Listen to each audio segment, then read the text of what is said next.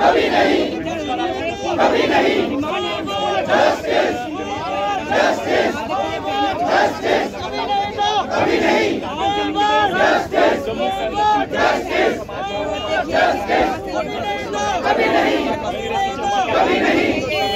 justice justice justice justice justice justice justice कभी नहीं कभी नहीं कभी नहीं justice justice justice justice justice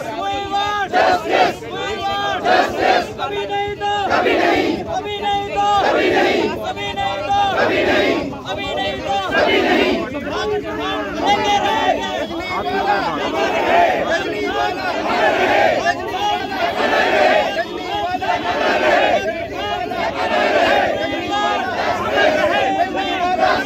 हम कश्मीर वैली में इन transfer policy inter district transfer policy के तहत मैं मेरा वर्किंग हूँ as a teacher Anantnag district में। तो हम कश जहाँ से 2007 से वहाँ काम कर रहे थे पीसफुली और वहाँ के लोकल लोगों ने हमें पूरा कॉपरेट किया पिछले 15 साल से। लेकिन अचानक अब ये उन, उनका ये सिस्टम हो गया कि वो आइडेंटिफाई करके हमारे हिंदू टारगेट किलिंग करते हैं? हिंदू मिनॉरिटीज़ के जो लोग वहाँ काम कर रहे हैं उनको करते हैं, चाहे वो कश्मीरी पंडित हों, चाहे किसी अलग अलग डिपार्टमेंट के जितने भी मुलाजम हैं। तो हमारी फ़र्स्ट से पहले, सबसे पहले हमारी ये डिमांड है कि जिस, जो हमारी बहन की कल जो, उन्होंने बुरे तरीके से क्लास में आकर उसको सिर पे गोली मारकर हत्या कर दी। हम चाहते हैं कि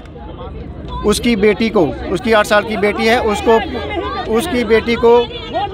पूरे साल पूरी उम्र के लिए उसको एजुकेशन का खर्चा गवर्नमेंट उठाए और जब उसकी एजुकेशन कंप्लीट हो जाए,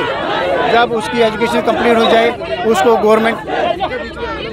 जब उसकी एजुकेशन कंप्लीट हो जाए तो उसको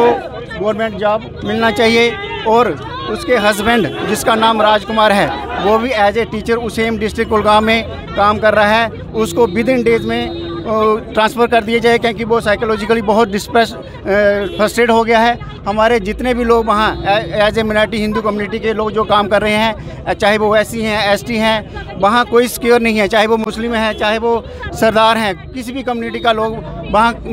पहले आपने देखा एक सरदार प्रिंसिपल थी, वहाँ कश्मीरी पंडित को भी मारा जाता है। तो हमारी ये डिमांड है कि जो मिनार्टीज़ वहाँ हैं, उनको सेव किया जाए, और हमारे जो जो इंटर डिस्ट्रिक्ट वहाँ जो एम्प्लाई गए हैं, चाहे वो किसी भी डिपार्टमेंट के हों, उनको विद उनके लिए वो ट्रांसफ़र करें, जहाँ उन विद इन डिस्ट्रिक्ट जहाँ जिस, उनको होम डिस्ट्रिक्ट में डालें। होम डिस्ट्रिक्ट के बाद अगर गवर्नमेंट की आगे नेक्स्ट क्या स्ट्रेटजी है ट्रांसफ़र पॉलिसी क्या बनानी है, वो गवर्नमेंट खुद देखे।